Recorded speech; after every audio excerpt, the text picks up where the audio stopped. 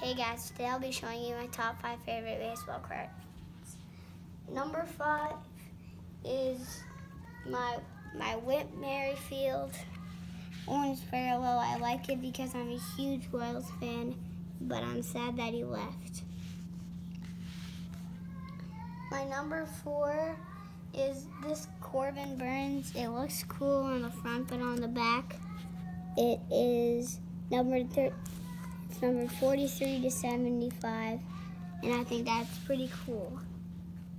At number three is my Cal Raleigh.